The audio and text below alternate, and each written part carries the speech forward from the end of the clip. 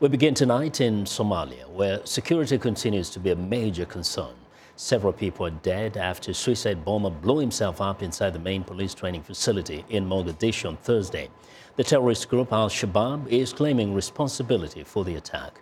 United Nations report taken over a 20-month period in Somalia reveals that violence by Al-Shabaab is continuing to take a heavy toll on the civilian population. 60% of all civilian casualties during that 20-month period that the report covers are attributable to Al Shabaab. So they are by far uh, the worst when it comes to uh, activities that kill civilians uh, in conflict.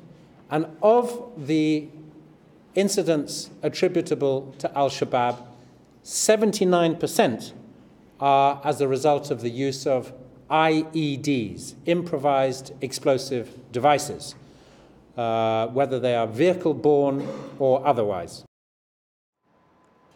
Al Shabaab has been active in Somalia trying to overthrow the government and install a strict uh, form of Islam.